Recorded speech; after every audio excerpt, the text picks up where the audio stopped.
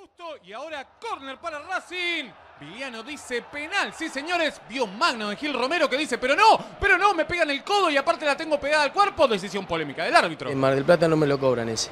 ¿Ese en Mar del Plata no? No, no, no. Y acá sí se lo cobran. Y a veces sí.